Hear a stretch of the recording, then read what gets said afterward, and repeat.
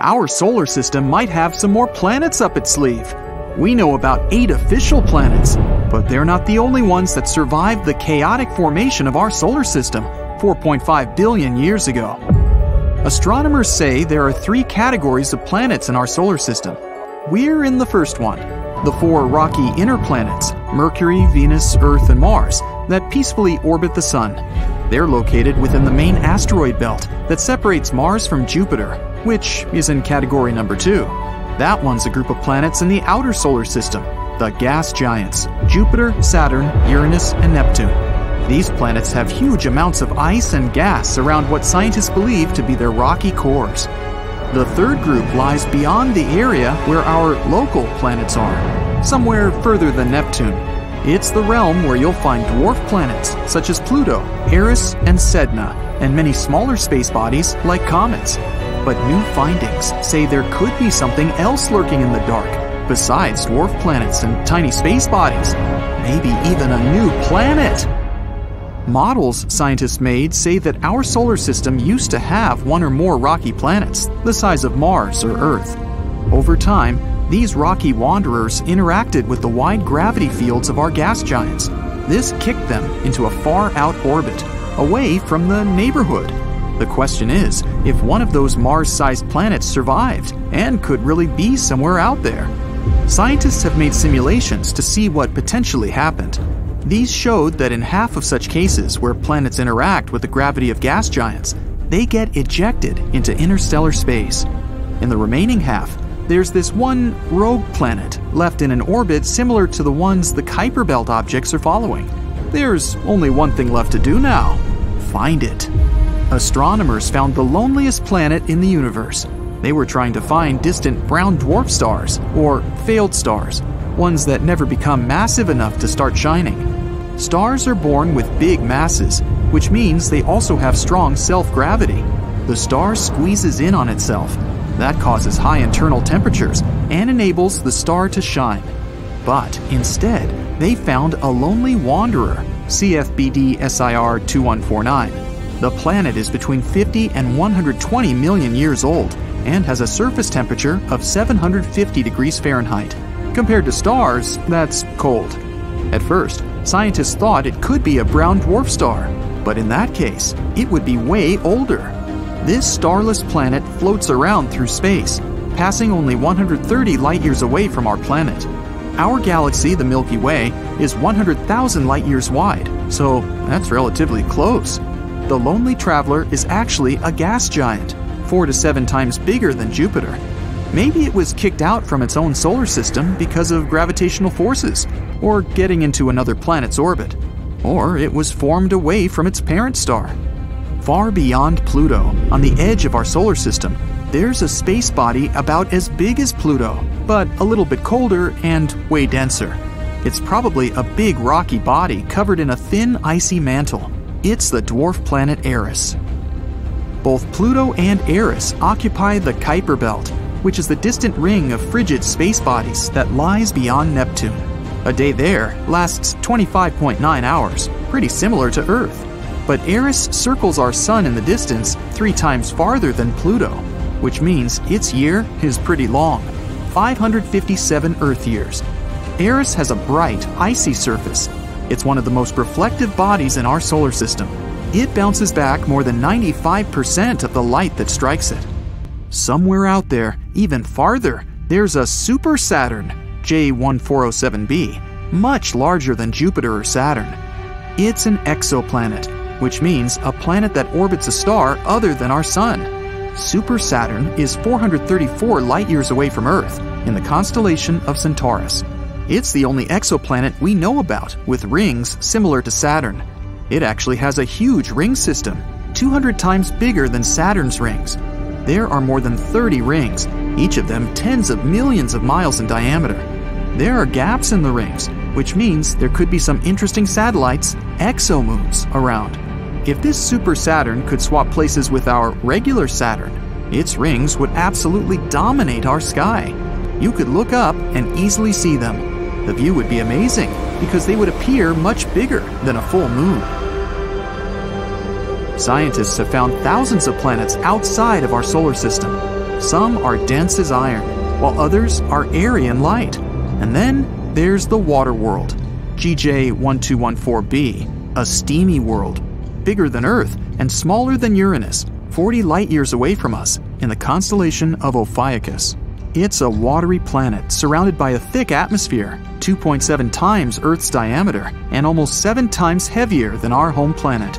It was most likely formed somewhere farther from its star, where there was plenty of water ice, but later migrated to where it is today. Its surface temperature is 440 degrees Fahrenheit, which is too hot to host life like on Earth. It also has much less rock and much more water than our planet. Imagine a planet with no land, but only endless oceans covering all of its surface. High pressures and temperatures would form things like superfluid water or hot ice, some pretty exotic materials that we can't see on our planet. Gliese 436b. It's a Neptune sized exoplanet 30 light years away from our planet in the constellation of Leo. It makes one full orbit around its star in a little more than two days. This planet defies the laws of physics. It orbits its star, Gliese 436, which is smaller, cooler, and less luminous than our Sun, at a distance 15 times closer than Mercury is to the Sun. When we typically think of ice, we picture a frozen cube. But this planet has an icy surface, even though the temperature there is 980 degrees Fahrenheit. This temperature is way above the melting point, but the ice remains solid and burning hot. This happens because of very strong gravity. It compresses the water vapor in the atmosphere into solid ice. The pressure here doesn't allow the ice to melt, no matter how hot the surface is. Now imagine being on a mysterious planet and it suddenly starts raining sapphires and rubies. One distant exoplanet, HAT P7b, a gas giant 1,000 light years away from Earth in the constellation of Cygnus and 16 times bigger, has specific weather and pretty violent storms. Rubies and sapphires are scattered across the planet when it's raining. On the planet's night side, there's a high amount of corundum in the atmosphere. And corundum is what mineral gems such as sapphires and rubies are made of. Clouds of corundum give such an amazing view the planet is plagued by severe winds that often turn into powerful storms that push huge masses of those clouds across the planet. Although the planet is uninhabitable, it would certainly be cool to come there and pick up some gems. Still, the weather is pretty wild. Plus, the temperatures are over 4,600 degrees Fahrenheit.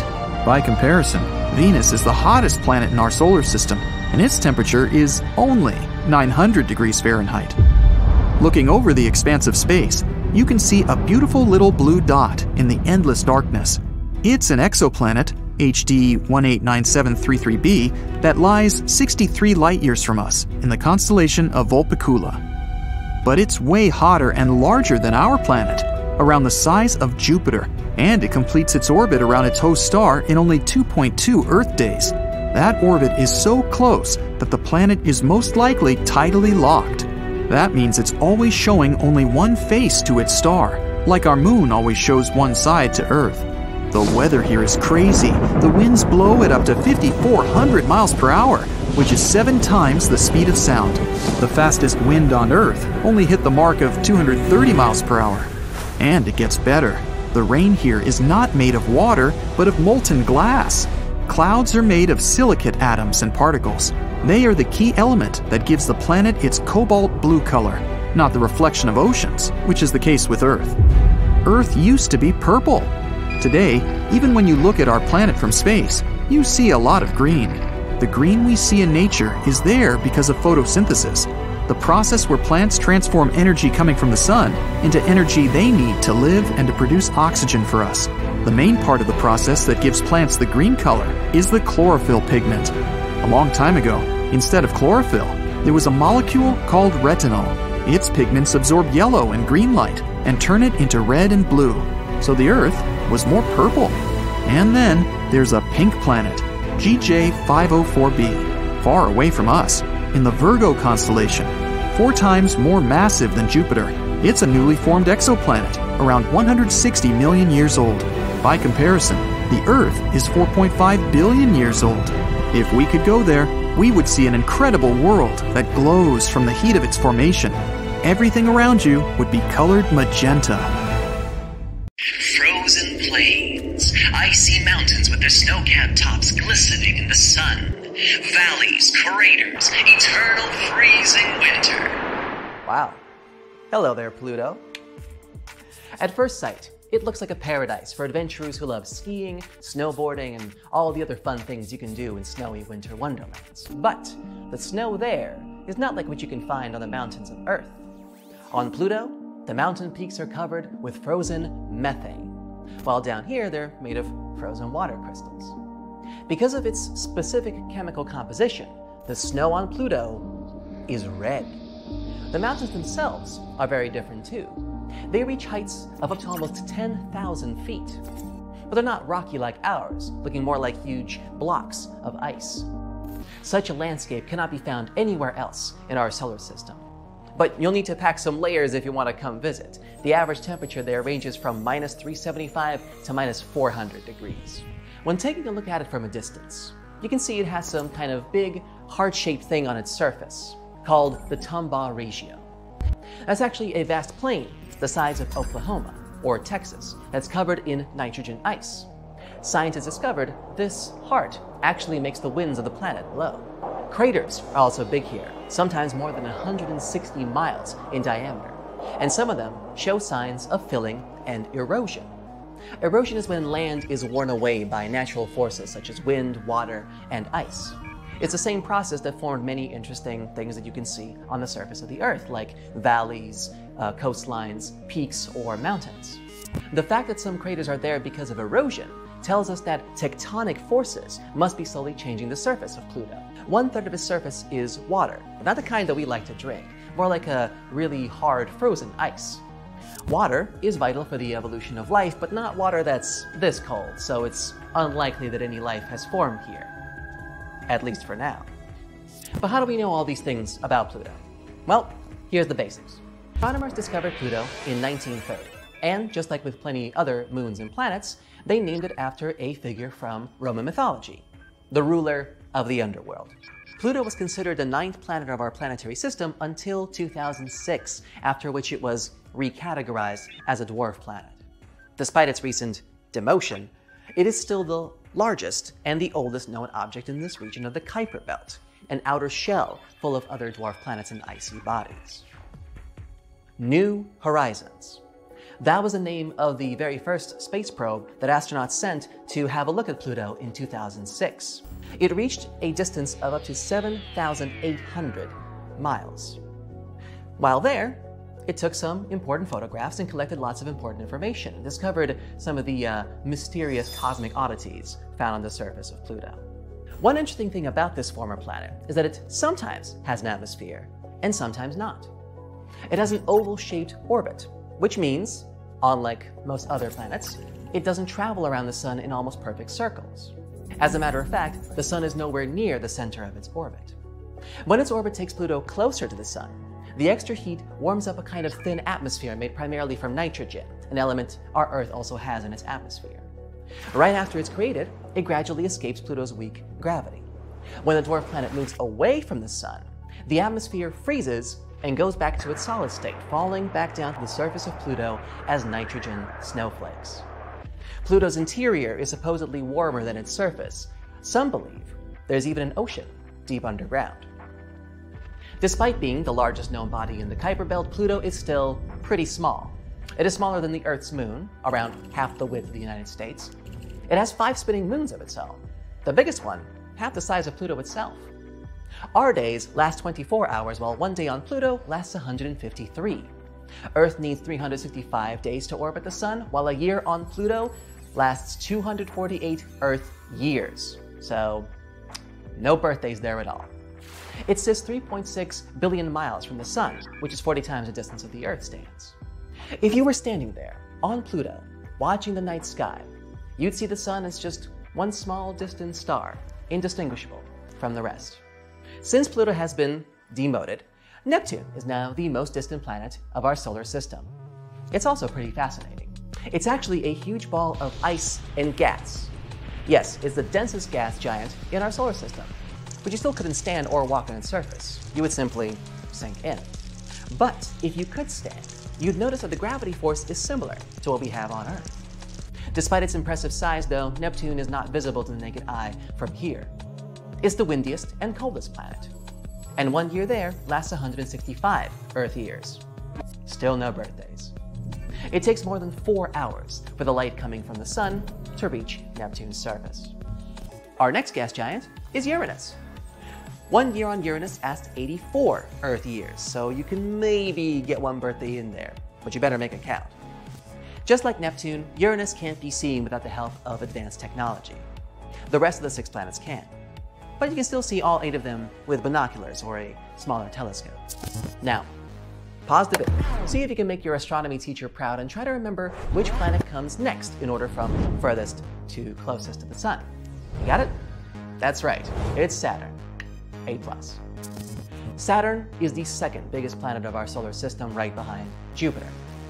And another gas giant where you'd sink in if you tried to walk on it. It's so gassy, you could put it in a lake and it would float. They call it the jewel of the solar system because it has a big ring system that kind of looks like a crown.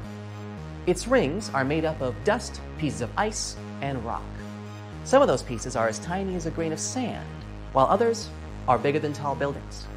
Next on the list, and completing our gas giant quartet, is Jupiter. Scientists call it a failed star since it's mostly made up of helium and hydrogen, just like the main star in our solar system, the Sun. But Jupiter doesn't have a mass big enough to start the chemical processes that turn it into a star. However, it is still the fifth brightest object in the solar system, right behind Mars. You probably have seen it when stargazing sometime, you just had no idea what it was. Okay, picture all the other planets combined and double their mass. That's a lot of mass, but Jupiter still has more mass than that. It's also the fastest spinning planet, so it takes only 10 hours to complete a full rotation on its axis. Our day lasts 24 hours. Imagine how it would look like to squeeze sleep, work, family, friends, hobbies, movies, all that in just 10 hours. I guess I'd have to sleep once every other day if I lived there.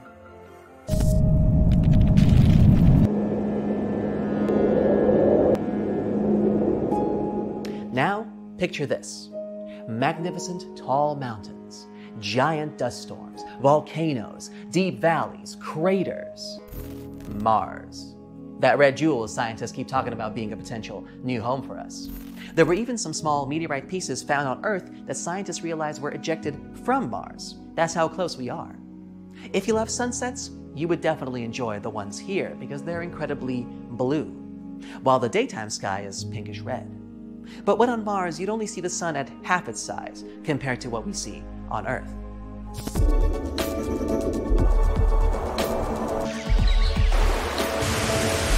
And of course, there's Earth itself seas, mountains, valleys, waterfalls, and of course, life. For 4.5 billion years, Earth has been home to so many different kinds of organisms that have lived, died, and lived again. And even though we know so much about our homeland, there's always something new to discover each and every day. The next planet, Venus, is the champion of superlatives. The hottest surface, the closest planet to the Earth, the biggest number of volcanoes, 1600. If you compare it to other planets to our solar system, the brightest planet, with reflective clouds that make it so shiny you can see it from the surface of Earth. Oh, yeah, and the slowest spinning body as well. It takes 243 Earth days for Venus to make just one single turn. You could literally walk faster than the planet's rotational speed. Venus also goes in the opposite direction of Earth, so sunsets there are set in the east, sunrises in the west. And last, but not least, Mercury. It doesn't have any moons or rings, and it's the smallest planet in our solar system. A year there lasts only 88 days. So get ready to expand that birthday budget. Mercury is the planet the closest to the Sun, but not the hottest. Venus took that title. Mercury is not the hottest because there's no atmosphere to trap the Sun's heat there. But it does have wrinkles. Only one half of Mercury's surface faces the sun at any given time, meaning there's an incredible difference in the temperature on either side, and of course, these sides switch as the planet rotates. The iron core of this planet has cooled and contracted over millions of years due to the rapid change in heat, which is why wrinkles have appeared on its surface. Well, That's a brief tour of all the planets of our solar system. And one dwarf planet. Sorry, Pluto. Thanks for watching. It's normal for planets to be a bit tilted on the side. The Earth is tilted at a 23 degree angle. That's why we have seasons. It's summer when the part of the world where you are leans closer to the sun. It works the opposite way too. It's winter when you lean away from it. But Uranus is tilted more than normal. It lies as a 98 degree angle, which has a huge effect on its seasons. Each season on Uranus takes 21 years to play out. Something to think about the next time we complain that winter lasts forever. Now, here on Earth, we measure distances in minutes and hours, maybe even days. It takes 10 minutes to walk to your best friend's house, or 15 minutes to drive to your favorite cafe. But in space, it's different. It's vast, which means we measure how long it takes to get to a certain point in years, or in most cases, light years. So, if you want to walk to the moon one day, that would take you 9 years to span the 239,000 miles. Perhaps you'd like to take a ride to the nearby star, Proxima Centauri. Maybe if you kept the pedal to the metal at a constant speed of 70 miles per hour, you'd get there in about 356 billion hours, or around 40 and a half million years. Trust me, after the first 20 million years, you'd be second guessing yourself as to why go there in the first place. Now, Mars contains the biggest valley, Valles Marineris, we've discovered so far. It's a pretty impressive system of canyons, 2,500 miles long. That's five times longer than the Grand Canyon. Researchers first spotted it back in the 1970s. A bank of volcanoes located on the other side of the canyon ridge probably helped form this valley. We haven't discovered a planet completely made of diamonds yet, but on some planets, it actually rains diamonds. On Jupiter and Saturn, gas giants of our solar system, lightning storms turn abundant methane into soot, which we also know as carbon. The soot falls and transforms into graphite. Further graphite transforms into diamonds with a diameter of about 0.4 inches. Now, before you start figuring out how to book a diamond collecting field trip, know that these diamonds don't last. After they enter the planet's core, they melt. Ever notice how when you're stargazing two nights in a row in the same time, let's say 9 p.m., the stars stay in the same place, but the moon doesn't? Well, there are two reasons for that. First, it depends on what time you go stargazing. For instance, if you go outside at 8 p.m. and tomorrow you look for it at 11 p.m., you'll see the moon in two pretty different places. In this case, even the stars take different places in the sky since our planet is spinning. As you know, it takes 24 hours for it to make one full circle. That means, from our point of view, it seems like both the sky and everything up there is just moving around us one time per 24 hours. In the same way, the sun changes its position, rising and setting every day. So, if you went outside two nights in a row at the same hour, in most cases, you'll have to wait for an extra half hour or more until the moon gets back to the same position as the night before. The stars are pretty much standing still. It seems like they're moving, but that's because the Earth is spinning.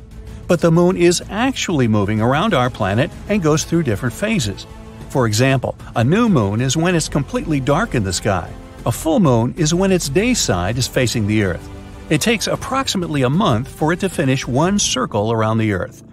Maybe you'd be luckier on a diamond collecting expedition on this next planet, 40 million light years away from Earth. Scientists used to call it a super Earth. Now, a super Earth is generally a planet way bigger than ours. This planet, for example, is double the Earth's size. It's so close to its star that it makes a full circle around it in less than 18 hours, which means a year there is pretty short. Since it's so close to its star, its temperature goes up a whopping 4,900 degrees Fahrenheit. Because of the heat, in combination with the planet's density, scientists have the theory that its core is made of carbon in the form of graphite and diamonds. Over 10 years ago, astronomers discovered a huge water vapor cloud. It was 12 billion light years from our home planet. That cloud is the biggest source of water we know of. It's also the oldest, dating back to when the universe was only 1.6 billion years old. Now it's 13.8 billion years old. Man, if only I had started a savings account 12 billion years ago. With compound interest, I'd have me quite a pile of cash by now, but I wasn't around then. Anyway, this cloud is so large it holds 140 trillion times the amount of water in all the oceans on our planet. This cloud kind of feeds a black hole. It may also contain enough gases, such as carbon monoxide, to encourage the black hole to grow six times bigger than it is at the moment. The average temperature of our planet is about 57 degrees Fahrenheit, and the highest temperature ever measured was 134 degrees. Sound too hot? Well, on Venus, it can go up to 900 degrees, which makes it the hottest planet in our solar system. It's not hot enough to melt steel, though. It would need to be higher by 2,500 degrees to get there. But it's hot enough to melt lead, and it's way too hot to sustain life, at least not in any form that we know. Venus is not even the closest to the Sun, it's Mercury, but it has a super thick atmosphere that traps greenhouse gases. It's like you covering yourself with a pretty thick blanket in the middle of the summer. Now, we're used to seeing volcanoes spewing hot molten lava. After all, that's what they mostly do on Earth. But in space, volcanoes tend to spew methane, water, or ammonia. And these materials freeze as they erupt and eventually transform into frozen vapor and something called volcanic snow. I'm talking about cryovolcanoes here. You can find them on Jupiter's moons Io and Europa, Saturn's moon Titan, and Pluto. These volcanoes are especially active on Io, which has hundreds of vents. NASA vehicles have even captured some of these erupting in real time. Plumes of frozen vapor coming out of them extended for about 250 miles. Hey, by the way, they just discovered another moon around Jupiter that might actually be good for farming someday. It's named EIEIO. now, what exactly happens to the light after it disappears inside of a black hole? Well, photon is a particle of light. The event horizon is the boundary of a black hole. When something, say a photon, crosses the line and enters those boundaries, it can't escape anymore. But it doesn't mean a black hole destroyed it. It pulls the photon in rapidly towards its center, where an enormous mass is packed into an infinitely small space. But we're not sure what happens to photons in such extreme conditions. It's still one of the biggest mysteries. Does a black hole destroy the light or not? Saturn has 82 moons we know about. 53 confirmed, and 29 more that are still on the waiting list to be confirmed as actual moons before they get their official names. And one of the coolest moons might be a 914 mile wide hunk of rock called Iapetus. It's dark on one side and bright on the other. Its lighter half is 20 times more reflective than the other one. As it turned out, the bright side is ice. The dark side is a bit more complicated. One theory says it's dark because of particles coming from another moon, the one named Phoebe. Another theory says it could be because of heat. Since the moon is rotating really slowly, its dark material is absorbing heat, which makes it even darker. Now, how big do you think a black hole can become? In theory, we can't find an upper limit to its mass. But astronomers believe the ultra-massive black holes, or UMBHs, located in the cores of certain galaxies are mostly up to 10 billion solar masses big. Recently, they even discovered these UMBHs physically can't grow much more than this, because, in that case, they would start to disrupt the accretion disks that feed them. That way, they would kind of stuff the source of new material. Most people picture the universe as somewhere between aquamarine and pale turquoise. Even some researchers thought that was the case. They managed to determine the cosmic color by combining light from more than 200,000 galaxies within 2 billion light years of our planet. But the real color is actually closer to beige. Researchers got it all wrong because there was a bug in the software. No, really? it converted the cosmic spectrum into the color our eyes would see if we were exposed to it. The team defined this color as a cosmic latte. Ooh, make that a double shot low fat large to go, please.